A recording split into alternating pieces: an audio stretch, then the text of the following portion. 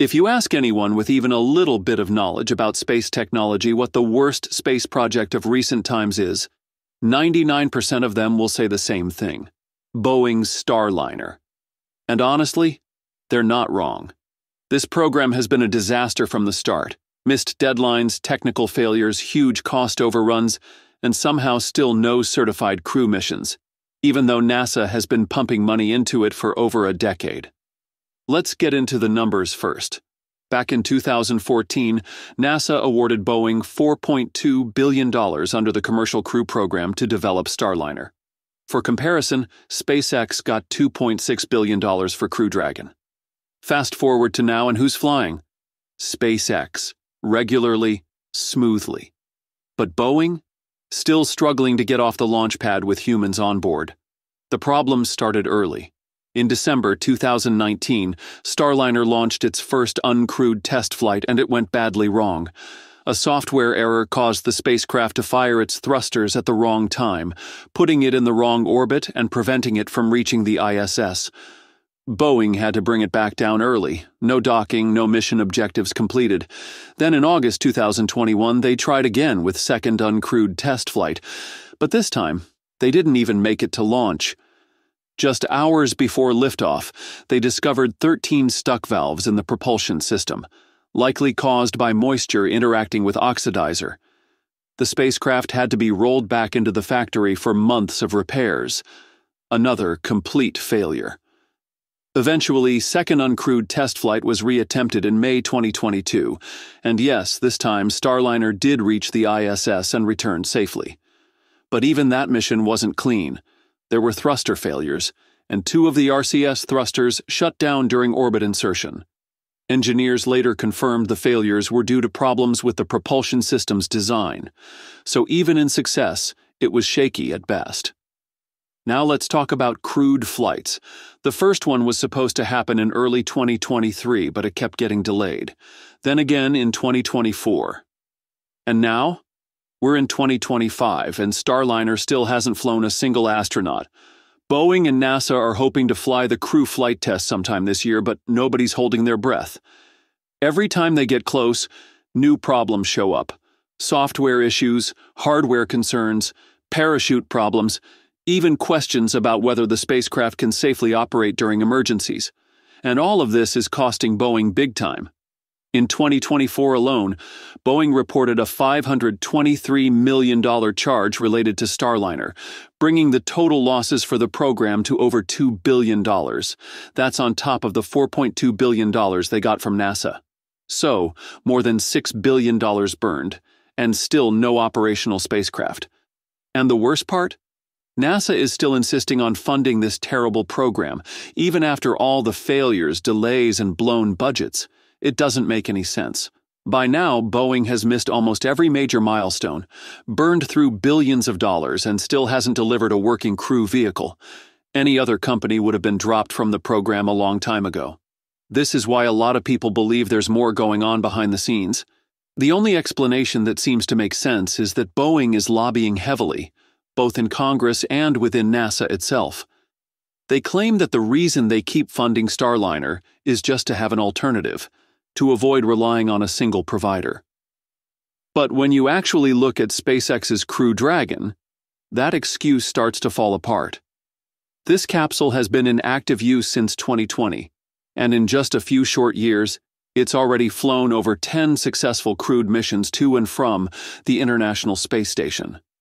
Not only has it become the backbone of NASA's current human spaceflight program, but it's also widely considered to be the most advanced and reliable crew vehicle in history. One of the most noticeable things astronauts experience when entering SpaceX's Crew Dragon is the increased interior space compared to older spacecraft. Crew Dragon's pressurized interior volume is approximately 9.3 cubic meters, nearly double that of Russia's Soyuz capsule which only offers about 5 cubic meters. In Soyuz, three astronauts are crammed into a tight cabin where they sit shoulder to shoulder, and once they're strapped in, it becomes nearly impossible to move anything except their arms. The seats are designed specifically to absorb shock during launch and landing, but leave very little personal space. The protective suits, while essential, only make it more cramped.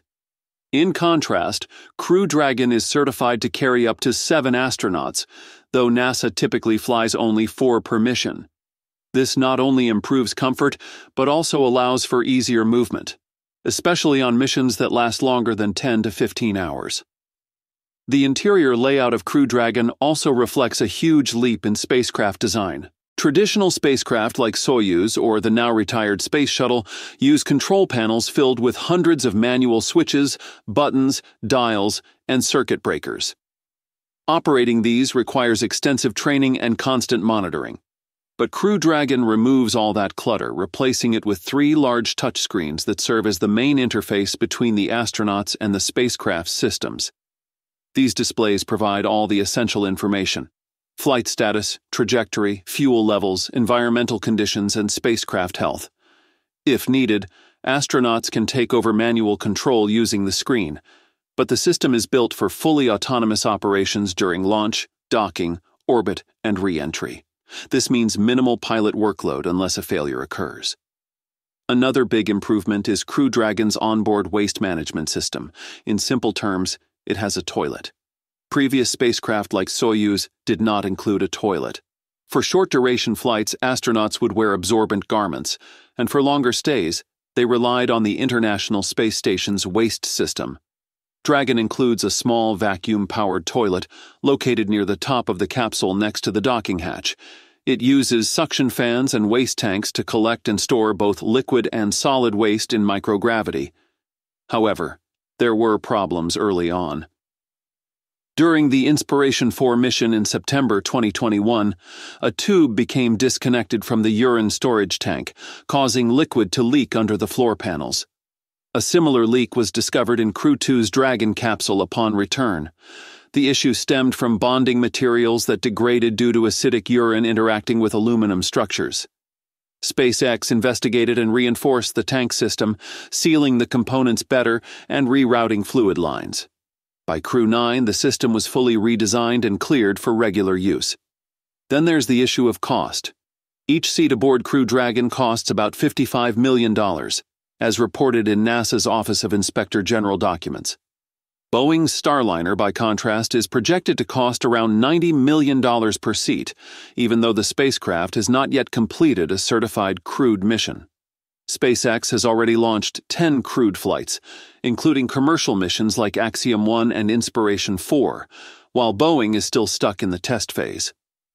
As of late 2024, Boeing has reported more than $2 billion in losses on the Starliner program, including a $523 million charge in quarter 2 2024 alone, mainly due to engineering setbacks and extensive retesting.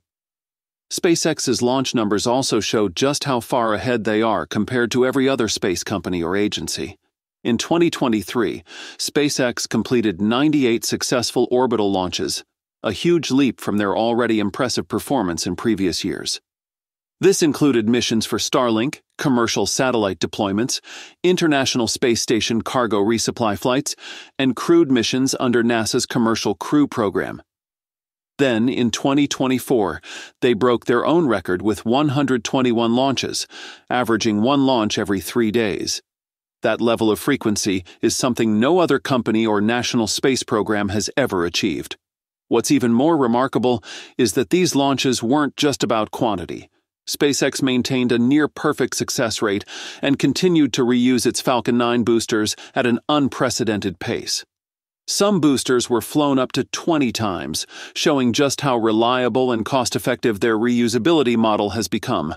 Over 70% of the 2024 missions were Starlink related, which not only fuels global internet coverage, but also allows SpaceX to control the world's largest satellite constellation. That's it for this video. Thanks for watching, and I'll see you in the next one.